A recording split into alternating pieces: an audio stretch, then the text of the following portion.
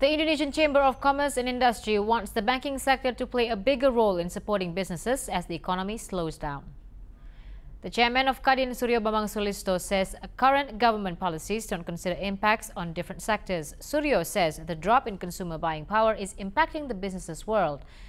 He's calling on the government to push the banking sector to take up a bigger role, support business by providing access to funding and restructuring national companies. Suryo says Suryo has also appealed to businesses not to immediately increase prices or lay off staff.